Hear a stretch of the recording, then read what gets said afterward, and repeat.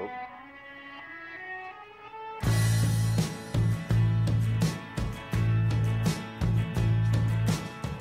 thought I saw you in the battleship, but it was only a look-alike. She was nothing but a vision trick. Under the warning light, she was close, close enough to be your ghost. But my chances turned to toast when I asked her if I could call her your name.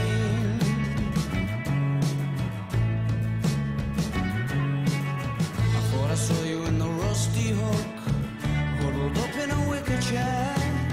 I wandered over for a closer look and kissed whoever was sitting